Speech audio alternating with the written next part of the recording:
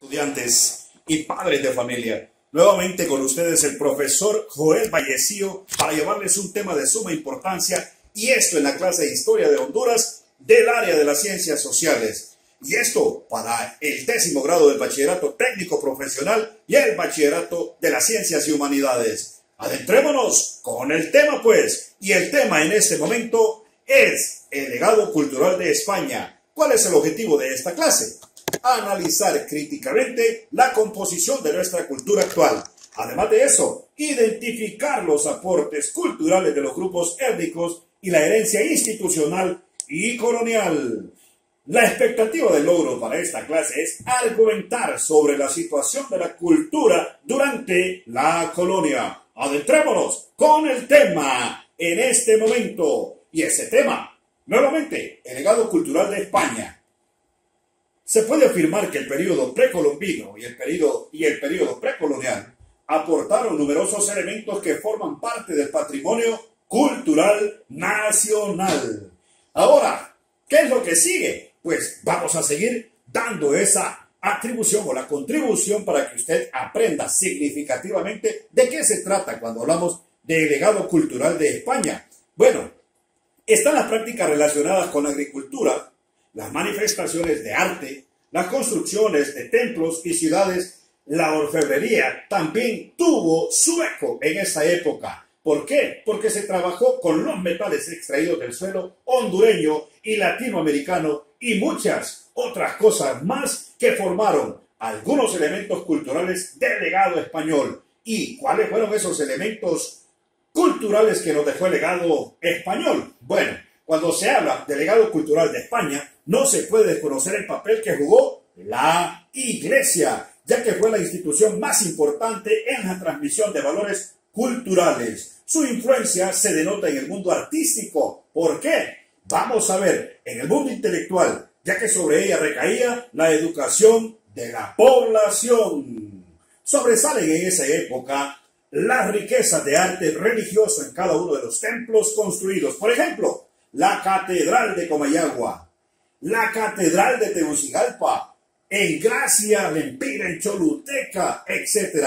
Se conservan aún muchos rasgos de arte barroco prevalecientes de aquella época. Y si vamos a hablar, vamos a hablar del mundo intelectual, que con el mundo intelectual se dio la creación de universidades en América, que responde el modelo europeo conforme a la Universidad de Alcalá de Anares.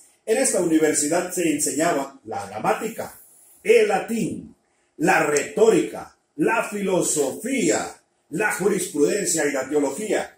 Los libros llegan a España en un año de su impresión. A los finales del siglo XVIII se totalizaron 26 centros de educación superior en nuestro territorio centroamericano. Y esto en Centroamérica, en Guatemala, con la Universidad de San Carlos, en el año de 1600 76.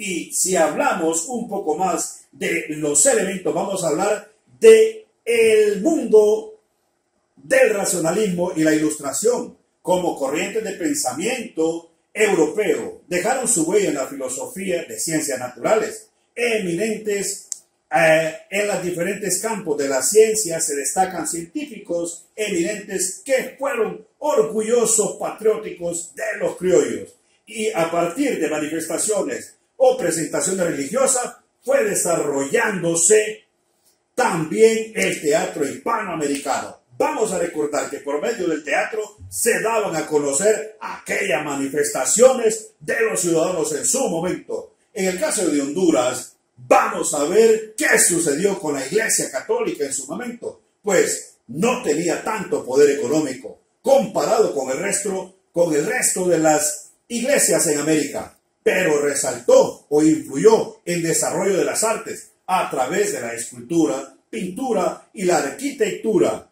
Pero, ¿qué nos dejó la iglesia en su momento? Desarrolló la escultura especialmente en la escuela de Comayagua. Los artistas hondureños se dedicaron a esculpir estatuas de imágenes de santos para casi todas las iglesias que ustedes ven.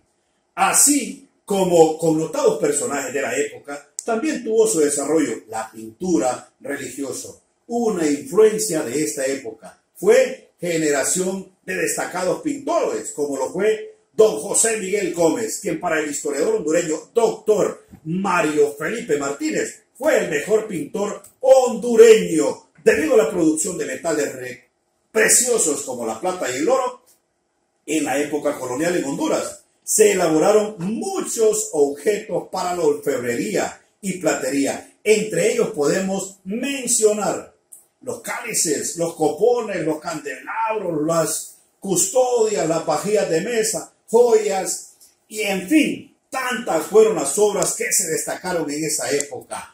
Pero, ¿qué sucedió?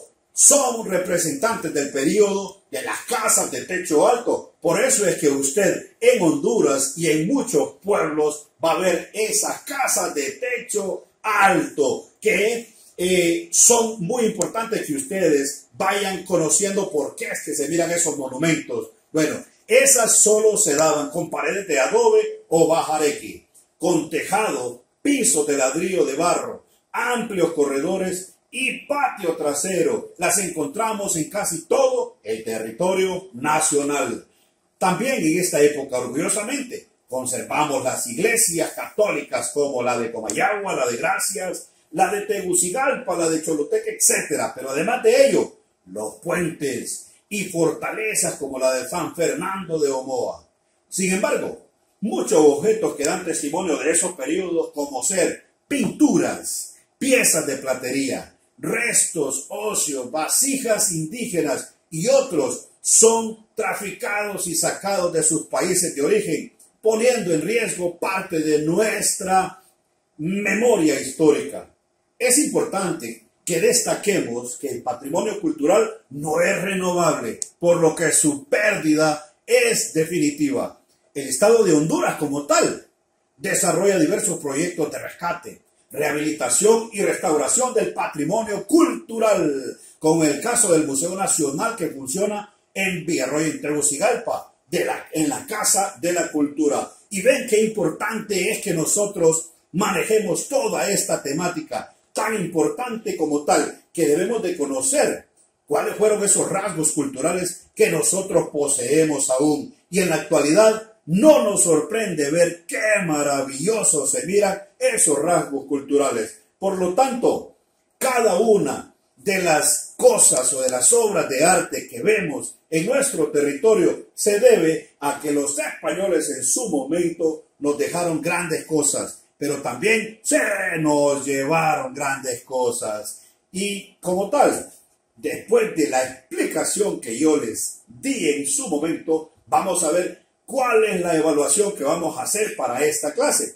Bueno, elaboran un cuadro comparativo con los aportes culturales de cada uno de los grupos étnicos de nuestra región, porque en nuestra región se encuentran esos grandes aportes culturales que se dan en cada lugar mencionado. Así de que, recuerda, te queremos estudiando en casa y utiliza todos los elementos de bioseguridad para que tú cuides los tuyos y también te cuides a ti. Utiliza siempre tu mascarilla y de igual forma utiliza siempre tu gel porque con eso eliminamos el virus por completo. Te deseo siempre lo mejor dentro de tu casa y recuerda, te quiero fuerte y estudiando en casa.